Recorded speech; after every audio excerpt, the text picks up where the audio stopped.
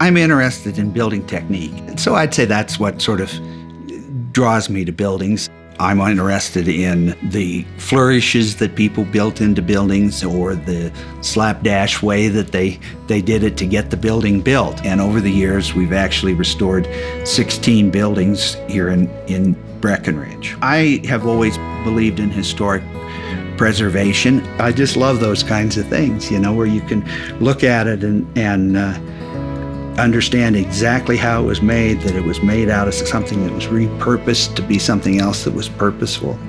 I, I love that kind of stuff.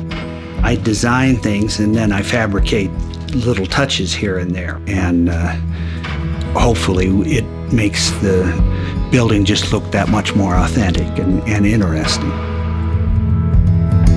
I think Alpine Bank identified me as a trailblazer because of the amount of restoration work that I've done here in Breckenridge. A lot of them are old homes that were on Main Street historically, that Main Street is now the prime retail area in Breckenridge.